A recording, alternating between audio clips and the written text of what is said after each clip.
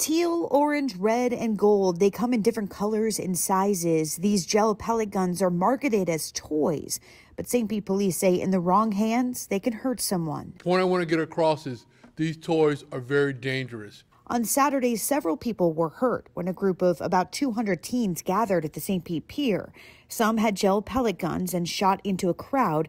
Two people eating at a restaurant were hit. An officer at the pier was also hit. Then a 22 year old drove along Beach Drive as a 14 year old hung out the sunroof, shooting a gel pellet gun at people, hitting a patrol horse named Storm in the neck, shoulder, and eye.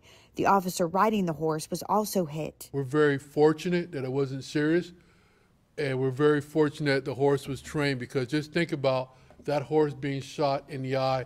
It could have taken the rider, kicked the rider off the horse, and then gone down the street and possibly injured more people. Several teens threw their gel pellet guns to the ground when police showed up. The 22 year old and 14 year old were arrested. Both were charged. A second 14 year old was arrested too. Chief Anthony Holloway says anyone using these toys to shoot at people will be arrested, and their parents will also face consequences. They could have to pay restitution to the harm that it caused to the person that has been shot or any damage.